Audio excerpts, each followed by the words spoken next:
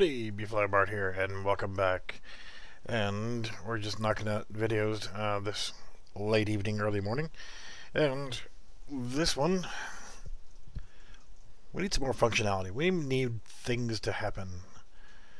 And let's go over quickly what we've got so far in our main menu. When we first play the game, and I'm going to go ahead and run this in standalone mode. So we first go into the game, you know, we'll wait for it to load. We've got a very simple main menu system set up to where we initially launch our game, the player goes to a, main menu, and well, so far we only have single player, and that's it. So we got some background music playing. We got two simple buttons. We've got the TeknoAxe logo because that's where we got our music from. And we can go ahead and click on single player. And there we go. We got a map. We can run around. We got a little bit of background sound going on. We've got our pain panel right here. It's got a little smoke coming off of it, so we know what it is. You run over it, you get an explosion and a sound, and it reduces your health by 25. So we're going to need some way of getting our health back up. Um, you see our health bar is uh, the red, the blue is our thirst, and the green is our hunger. And all three of these bars do work, and this is just a temporary uh, player HUD, but we just want to have some functionality first before we start getting pretty. So we also have an escape menu where we can hit resume game and just keep on playing, or we can go ahead and go back to the main menu and then exit the game if we so fit. We words. Um, if we, yeah, feel like it, screw it. Anyway, so what I'd like to do is create some kind of way of regenerating our health, our hunger, and our thirst. Well, don't have any fancy models in here yet that would symbolize the fact that this is a med kit or this is a, a whatever, a, a piece of food or a drink or what have you. Uh, what do we have? In our starter content, architecture, that's eh, not really going to help us much. Um, props, well, not really. Um, what about our shapes? Well, we're just going to have to make do. Um,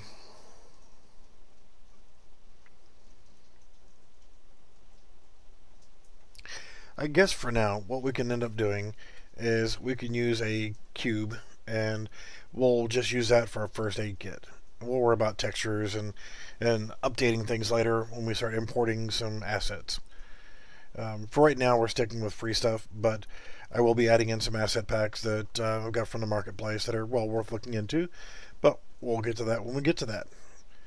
So to start off with, and we're going into our assets, and yep, you guessed it, we're going to make a new folder. We're going to call this pickups, or we can try to spell and pickups go into that folder and the first one we want to create is naturally going to be a blueprint and an actor. And we're going to call this the medkit. Now it's not going to be fancy but it is going to be functional. And again we can go ahead and start off by adding a component and we're going to add a cube. Isn't that lovely? Looks just like a med kit. Uh, we can scale it down just a little bit.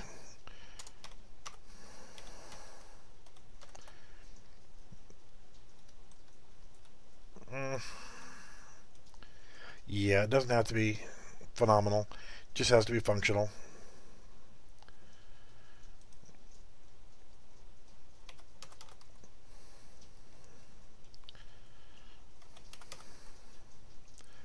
Now let's get that at 0.5. And There we go. That's our med kit.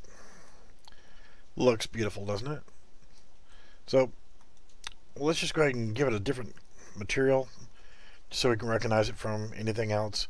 We don't really have a good material for it yet, but we'll just pick something to start off with.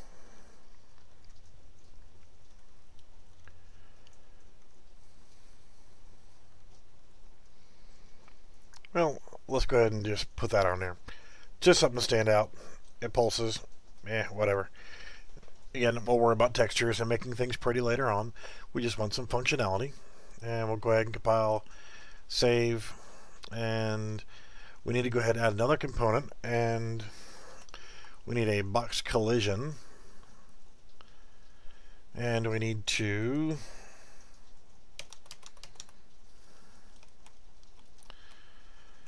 scale it up to where it's is usable.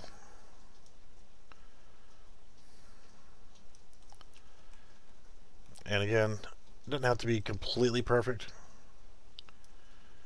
Just make sure that we can walk over to it and do something with it.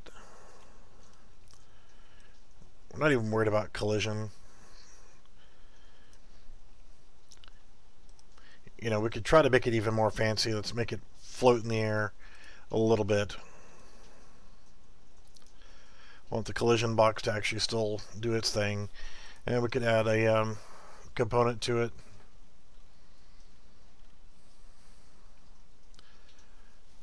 You know, if we wanted to add something onto it like it could glow or have a, a light fixed to it so that it, it's illuminated and you can see that it's a, uh, you could add a point light in so you could see, hey, they, there's something there, and we could add a, a, red light around it so people could see that it's a, a med kit. In this particular case, it's um, already um, there. It's going to be pulsating. Um, probably going to screw this up on the first couple tries because I haven't used this very often. However, what it is is a rotating movement. You can actually make the uh, object itself rotate. Um, rotation rate. Actually going to go ahead and place it out and see what it looks like. And we're going to play in the selected viewport. There we go. We got a nice little rotating thing. Well, that's fun. Well, that'll make you dizzy. Never had that happen before, but okay. Um, but with the med kit on our collision box, let's go ahead and set up our on component begin overlap. And we're going to skip all the rest of the stuff here. We're going to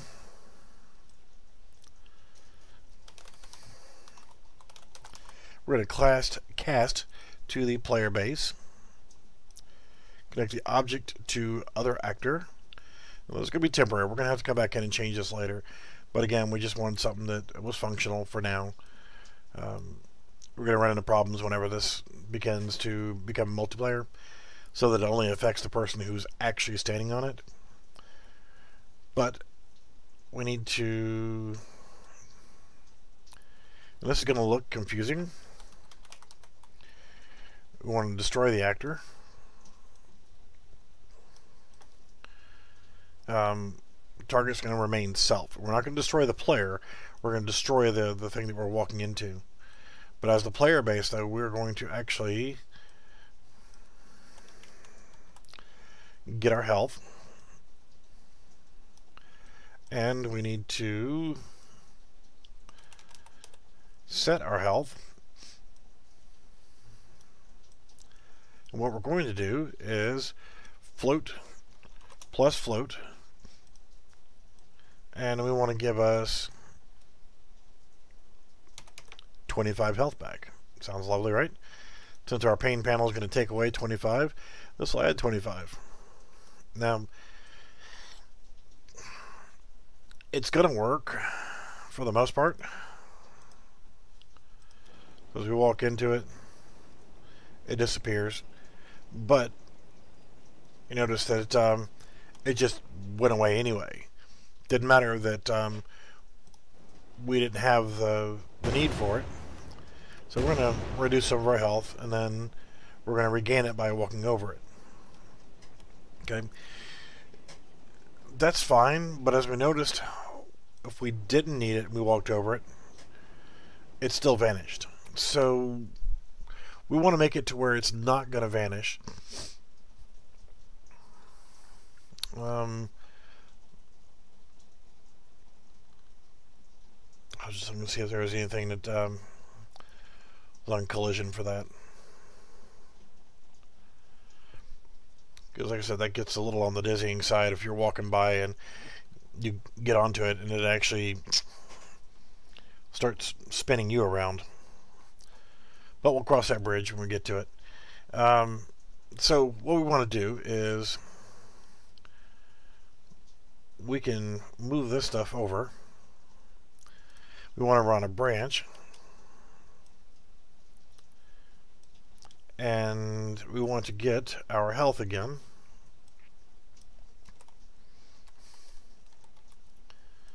So we get our health. Then we want to find out if we are less than or equal to huh we're less than 100 it'll let us get it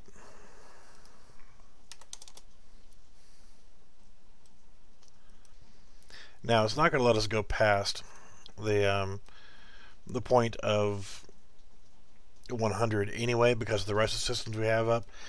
But it's going to check to see if our health is less than 100, then increase our health by 25. And this is one way of doing it. So we'll control, uh, compile, save. We'll go in here and still vanished. So we need to move our destroy actor here.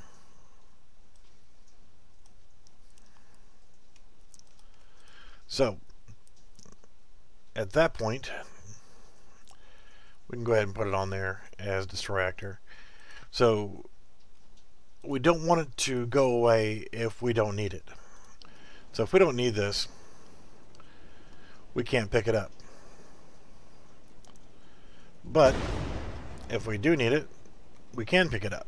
So that's our first pickup. It's a health pickup, so we can actually get our health back up.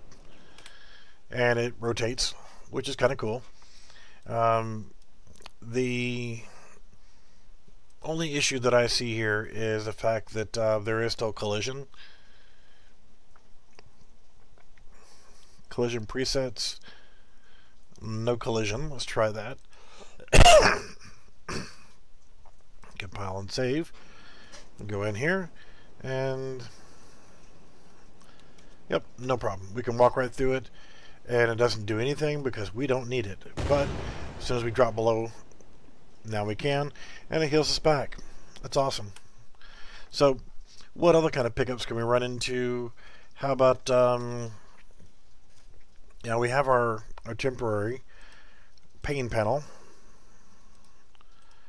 let's actually create a new version of that. And let's try to duplicate it and we'll have a thirst panel.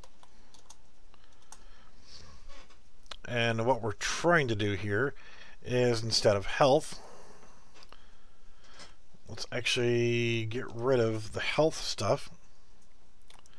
So we cast a player base, we need to get our thirst.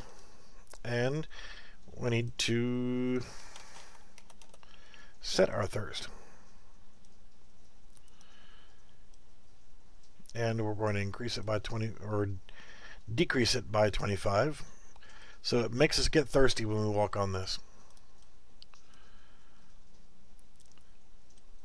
alright so we get the explosion cue that's all lovely um, Let's get rid of the smoke. Look at the viewport.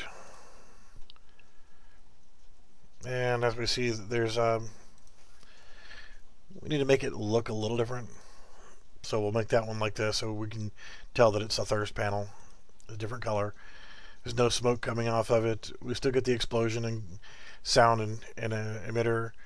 And yeah. Let's try our thirst panel out and see if it actually works. So we can force ourselves to get thirsty faster. Yep. Okay. And we don't need any health, so it made us get thirsty. So let's actually make us a new pickup. We need a new blueprint, actor, soda, can, and let's add a component. Now, we can add in the cube.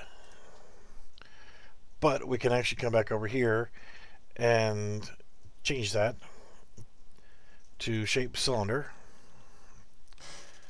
Let's go ahead and add our component of our box collision. And we're going to go ahead and reshape our cube just a little bit. We want it to be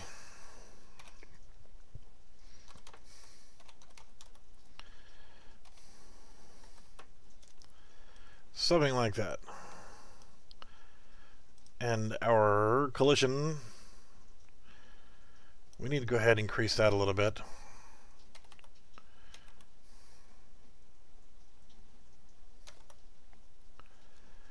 And let's move it up a little higher. We don't need to, to make this revolve because, well, it's just a cylinder anyway. Um, we can actually do the same thing. We can give it a blue look to it so it looks like it's uh, something we can drink. Alright, we're going to compile and save. And close that down, and we can close that down. And with our soda can, we're going to go ahead and get rid of all those. And from our collision box.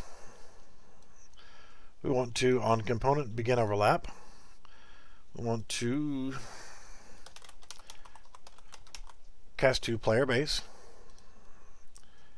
run this off of other actor, and again we want to go ahead and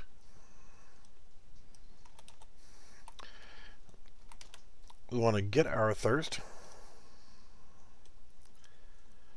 And we also want to run a branch.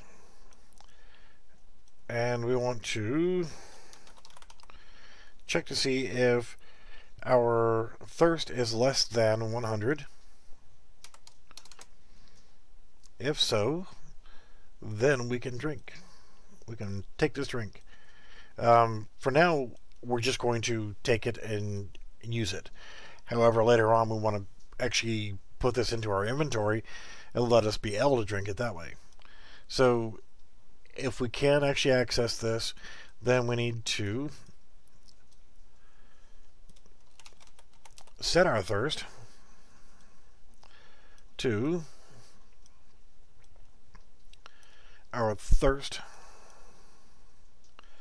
Let's actually run, uh, we don't need to, but we could run a new one. Get our thirst. And we want to do thirst. Plus. And we'll do 25 whatever. Because we're going to take away 25 we're going to add it back in. Again all these things will get balanced out and changed later. So then we want to destroy actor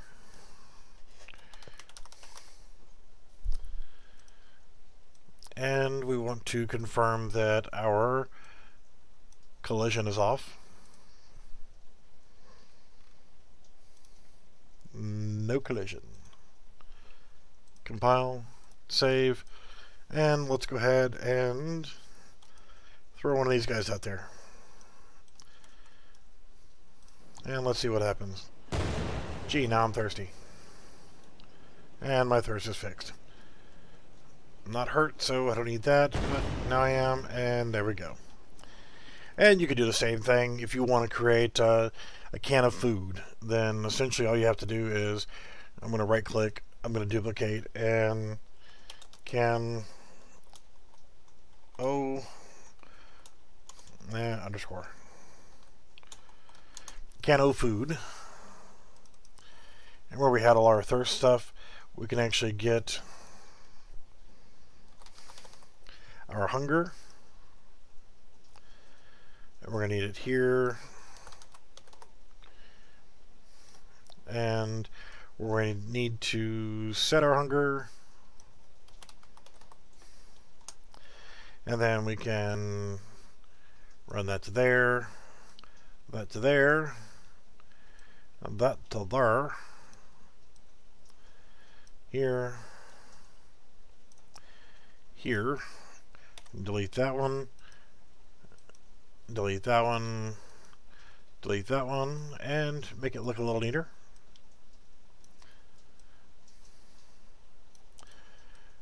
And let's go ahead and look at our actual cube, which is not a cube, it's actually a can, and let's change whatever texture we can find here. I'm actually gonna just give it a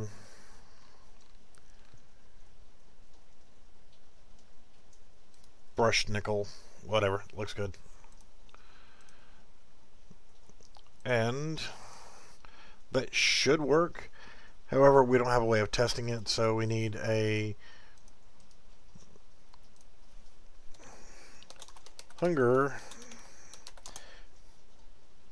panel. That sounds good. Again, temporary stuff. Doesn't really matter all that much. We need to get our hunger. We need to set our hunger. And let's go ahead and replace these out. We don't need you, and we don't need you, so you can go away. Bring this to here.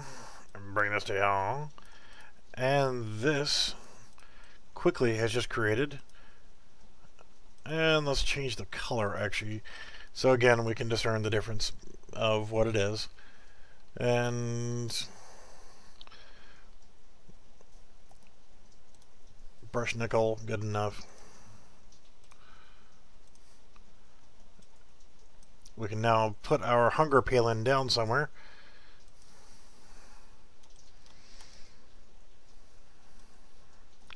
We'll set it here. Go to our pickups. Drop a can of food. Not really that much different. Um, hungry, thirsty. And we just fix that. We fix that. And we can fix that. So now we have hunger, thirst, and health pickups that will serve us well until we can actually get new models to make them look better, better functionality and so forth. There's actually things we can do to make it even more more special and cool. Um, if you want to add in some sound files to like let you know that you just had a power up or a pickup or something of that nature. Um, not a bad thing to do. You know, there's a lot of places to get free sound files. You know, some require you to do certain things or, you know, add credit to where you got the sound files from. There's a lot of royalty free ones out there. You know, it's just a matter of, you know, just finding what you can or making your own. I mean, if you want to hear, if you want to make your own sounds, you've got a microphone, go ahead and make your own sounds. It's not really that difficult to do. They don't have to be outstanding at first. You can always improve them as time goes. Let's try to be different. In fact, I actually have a temporary sound that I can throw in here for now to um, to let us know that we just did something. So now we can actually go back to our pickups. Go to the can of food. And before the destroy actor, let's go ahead and play sound at location. Again, right now we're not totally worried about the location of the sound, but let's go ahead and add that in there, compile and save. I'm going to control C on this one, and let's see, medkit.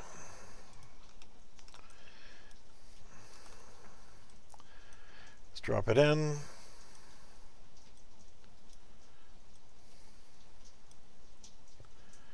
Compile, save, and we'll do that on here as well.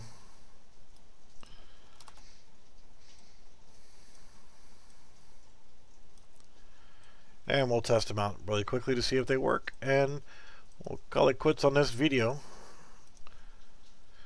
So let's go ahead and play.